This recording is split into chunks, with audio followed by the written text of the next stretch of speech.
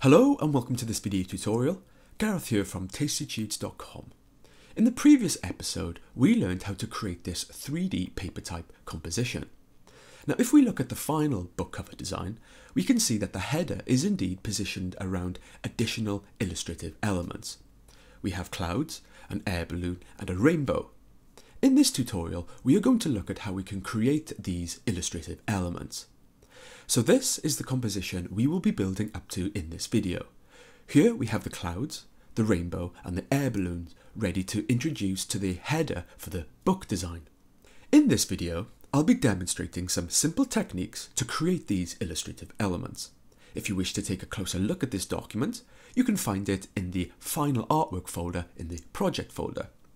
Now, we are going to be covering a lot in this video and in quite some depth. If you wish to skip ahead at any point in the video or back, you can do so quite simply. The topics covered in this video are listed in the description and downloadable PDF along with their times, so be sure to check that out. So here we are back in the document we created in the previous video. Now we created this type away from the main book cover design, so we could focus solely on the type creative. Now to create these new illustrative elements, we are going to do the same, and create them separately so we can focus on getting them just right. So first I'll come up to File, New, I'll click Presets and choose International Paper. From the size I'll choose A4.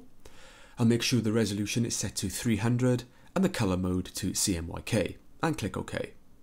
Next I'll come up to Image, Image Rotate and click Rotate 90 degrees. So I'll come into the Layers panel and double click on the current layer which is called Background, which has a lock on it. A new layer menu will appear I'll call this layer white base and click OK. Next, I'll press Command T to activate Free Transform. Now I can see a bounding box around the layer. This is giving me a clear indication of the center point in my document. So I'll press Command R to activate rulers. I'll drag a guide from the right into the middle and a guide from the top into the middle. Now I'll press Enter to turn off Free Transform. If you cannot see your guides, press Command colon repeatedly to toggle them on and off. So I'll come back into the type document I created previously. In the Layers panel, I'll select the background folder. I'll press V to activate the Move tool. I'll click into the canvas area and click and drag up into the tabs at the top and into the New Document tab. When I see my new document appear, I'll press and hold Shift on the keyboard and drag into the document and release click. Now the background will snap into the right place. Now because the previous document is the same size, by pressing and holding shift and dragging into the new document, upon release it will place the element in the same place. So now we have the nice blue sky gradient in the background. Excellent. So now I'm ready to begin creating the illustrative elements. So I'm going to begin with the rainbow. So I'm going to create the rainbow by using the shape builder tool, in particular the ellipse tool. So I'll come into the menu, click and hold on the shape tools and select the ellipse tool. So I'll come into the canvas area and carefully click just once, precisely in the middle of the canvas area, on top of the guides, like so. Now upon click, up will pop a Create Ellipse menu. So here I'm going to set the width and height to 1500 pixels each. Then click the box from Center. I must make sure this is checked. Then I'll press OK. Upon click, I will now have this ellipse approximately 1500 by 1500 pixels in the middle of the canvas area. Perfect. So now we have a new ellipse shape and a new shape layer in the layers panel. So I'll come into the menu and select the type path tool. I'll click on the new ellipse shape. Then up in the control panel, I'll set the fill color to transparent and the stroke color to white then in the stroke size, I'll set the size to 10 points and press enter. Over on the right, I'll click the stroke options. I'll make sure the stroke is solid and make sure the alignment is set to inside and press enter. Once I'm happy with my stroke, I'll come into the layers panel and double click on the layer name and call this white outer stroke. Now with this new shape layer selected in the layers panel, I'll press Command J this will duplicate the shape layer. Next, I'll press Command T to activate Free Transform. I'll press and hold Alt and Shift on the keyboard, then carefully drag the corner point in until the outside of the stroke on the new ellipse touches the inside of the previous ellipse. Once satisfied, I'll press Enter to commit to the transform. I'll press A to activate the Path Selection tool. With the new ellipse selected, I'll come back up into the control panel. This time, I'll set the stroke colour to a red, and then I'll change the stroke size to 12 points and press Enter. I'll come into the Layers panel and rename the layer to Red Stroke. With the layer still selected, I'll press Command J to duplicate the layer. Next, I'll press Command T to activate Free Transform. I'll press and hold Alt and Shift on the keyboard, then carefully drag the corner point in until the outside of the stroke on the new ellipse touches the inside of the previous red ellipse. Once satisfied, I'll press Enter to commit to the transform.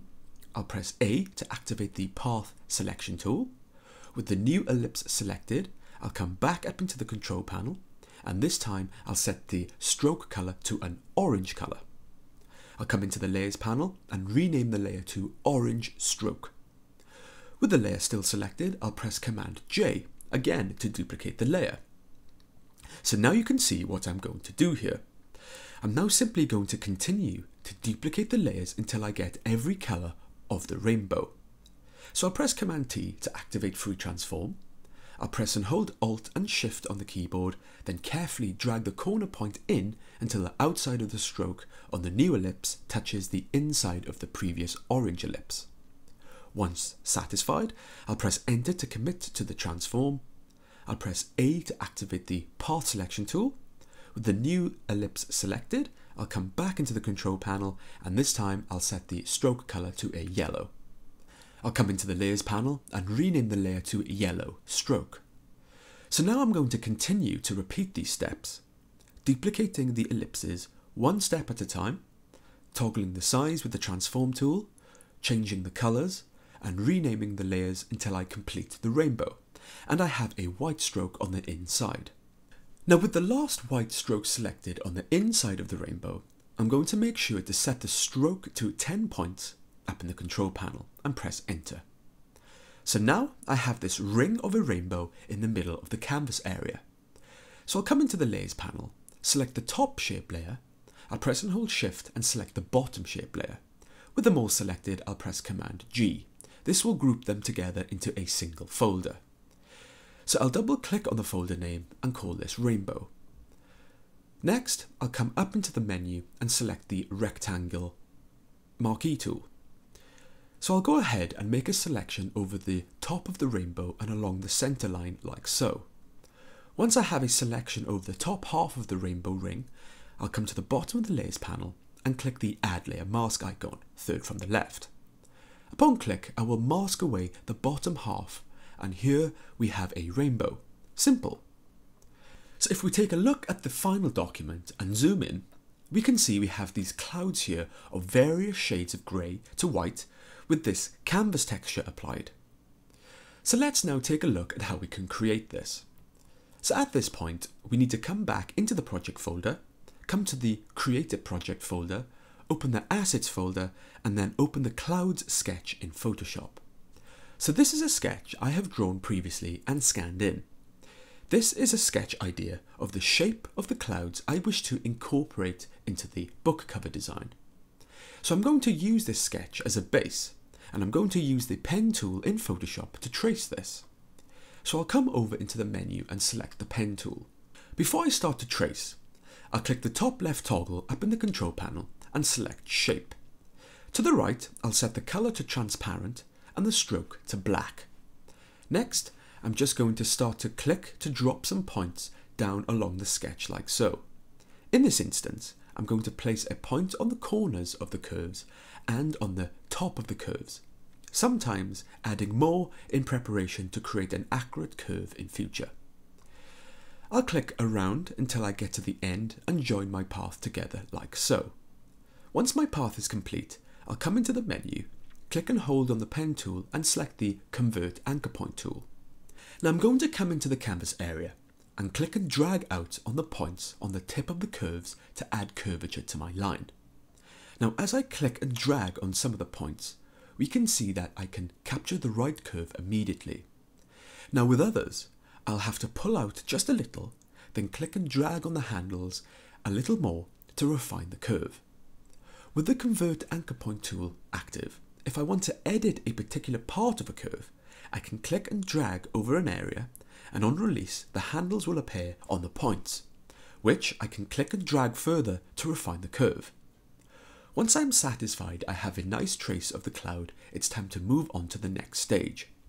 So back in the project folder in the assets folder, I'll come into the texture folder and open texture 1.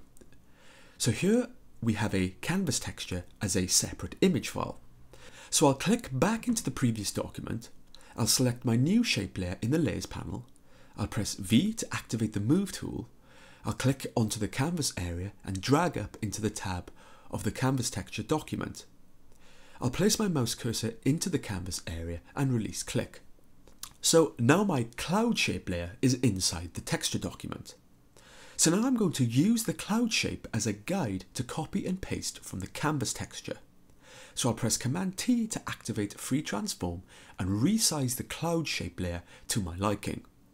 Once happy, I'll press and hold Command on the keyboard and click the shape layer icon in the Layers panel. Upon click, I will create a selection of the cloud. So with the selection, I'll click onto the canvas texture layer and press Command C to copy. I'll click back into the tab of the rainbow and press Command V to paste. And now I have the cloud shape with the canvas texture inside in the rainbow document as a raster layer. So now I'm just going to come into the other documents and just close them because I no longer require them. On this occasion, I will not save. So back in my document, I now have this new cloud raster layer, so I'll double click on the layer name and call it cloud. Then I'll right click and convert to smart object. Now I'm going to do this because shortly I'm going to be duplicating this and I'm going to duplicate it a lot and I'll also be resizing them. So to maintain a level of quality, I'll convert this to a smart object. So I'll press Command T and scale down the cloud and place just under the right side of the rainbow. I'll press Enter to commit and then with the Move tool I'll press and hold Alt and click and drag to the left to quickly duplicate the layer and place another under the left side. Easy. So by using the same technique, I'm going to press and hold Alt and click and drag to duplicate the clouds around my canvas area. I'll press Command T to activate Free Transform and change the scale to get a variety of sizes. Soon I will have something that looks like this. So now I have a bunch of clouds in my canvas area and in the layers panel. Now we can see that the names of all the new clouds are cloud copy 2, 3, 4 and so on. Now we don't have to worry about this right now, at this point it's not important. Next I'll come into the layers panel, select the top cloud layer, press and hold shift and select the bottom cloud layer. Then I'll press Command G to group these layers together into one folder and name the folder clouds. So now we have a little problem here. Currently the clouds look exactly the same. They're all grey and in some instances they seem to be blending into each other. If we look in the final example, we can see that here they have various degrees of brightness which give them more depth. So let's go ahead and do that. So we can do this quite simply by coming into the layers panel and adding adjustment layers.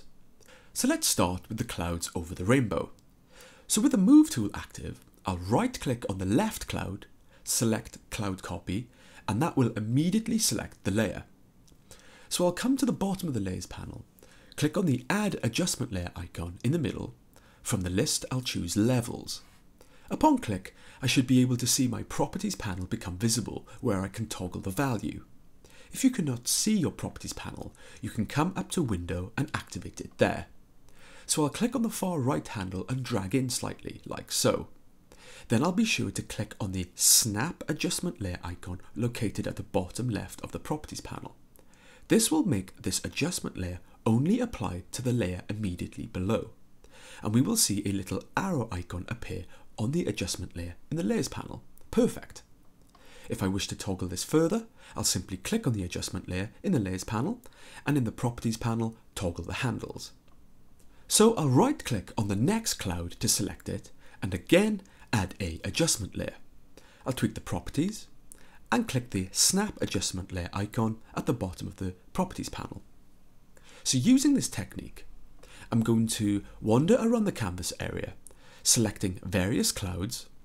I'll add the adjustment layers to them in the layers panel and tweak the properties to various degrees to get a variety of brightness.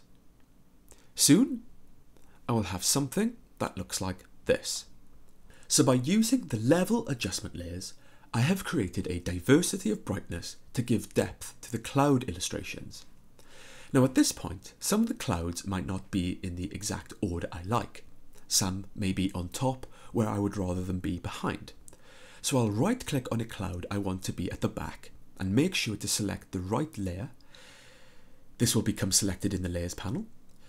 If it has an adjustment layer applied, I'll press shift and select this as well and then drag them both towards the bottom of the layers panel so they are positioned behind the rest. Once happy, I'll come and toggle the clouds folder up like so.